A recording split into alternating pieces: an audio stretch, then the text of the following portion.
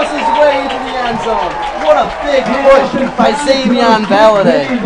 You know, Xzavian Valladay just lowered the shoulder.